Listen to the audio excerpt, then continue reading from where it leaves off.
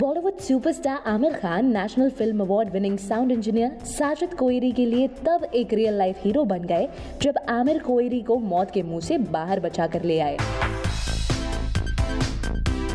आमिर खान की फ़िल्म दंगल में काम कर चुके साउंड इंजीनियर साजिद को 7 सितंबर की रात दिल का दौरा पड़ने की वजह से लीलावती अस्पताल में भर्ती कराया गया। लेकिन कई घंटों तक बिस्तर पर तड़पने के बावजूद हॉस्पिटल की लापरवाही की वजह से कोई भी डॉक्टर उनके इलाज के लिए सामने नहीं आया।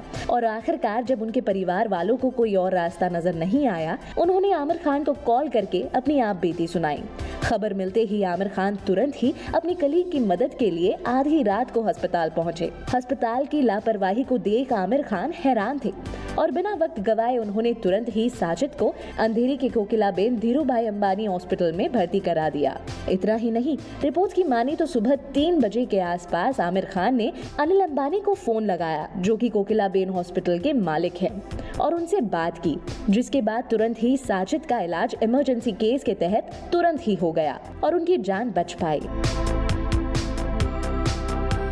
आमिर खान की इस इंसानियत और हीरोइक अंदाज ने एक बार फिर सभी फैंस का दिल जीत लिया है, जो कि सोशल मीडिया पर आमिर की तारीफें करते नहीं थक रहे।